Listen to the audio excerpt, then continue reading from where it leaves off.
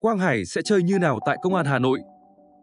Việc Công an Hà Nội chiêu mộ thành công Quang Hải cho thấy rõ được tham vọng hướng đến chức vô địch của đội bóng này và chắc chắn Quang Hải sẽ giúp lối chơi tấn công của Công an Hà Nội trở nên ngày càng nguy hiểm. Sau rất nhiều đồn đoán, vào tối ngày 22 tháng 6, Công an Hà Nội đã ra thông báo ký hợp đồng thành công với Quang Hải. Cụ thể, Quang Hải sẽ thi đấu trong màu áo đội bóng ngành công an theo bản hợp đồng kéo dài 1,5 năm.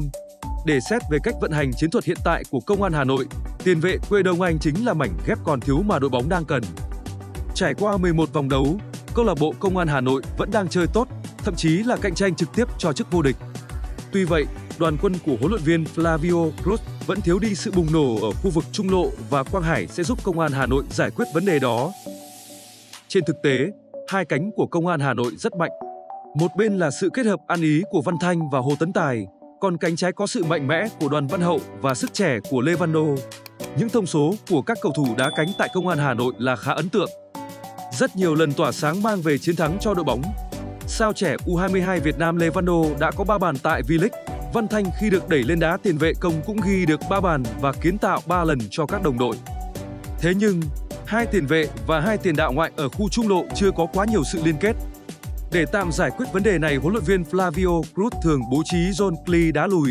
Tiền đạo này đôi lúc phải di chuyển xuống gần hàng tiền vệ hơn để nhận bóng.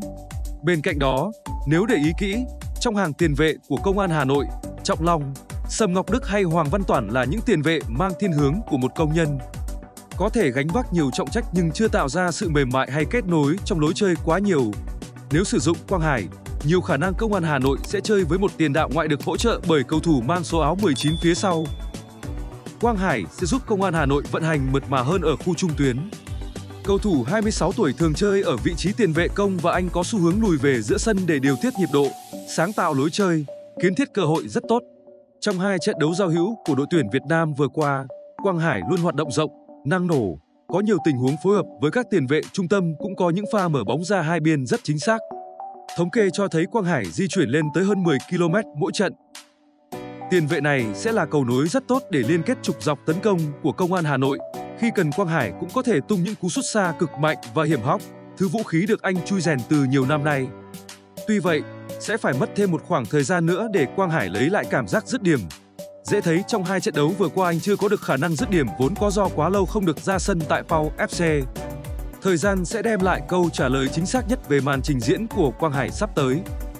Sự trở lại của tiền vệ này sẽ làm V-League thêm kịch tính và thú vị hơn nhiều ở giai đoạn tiếp theo. Người hâm mộ có thể sẽ được chứng kiến Quang Hải thi đấu ngay từ trận đấu Công an Hà Nội gặp câu lạc bộ Hồng Lĩnh Hà Tĩnh thuộc vòng 12 năm League 2023 diễn ra vào lúc 19 giờ 15 phút ngày 24 tháng 6 tới đây.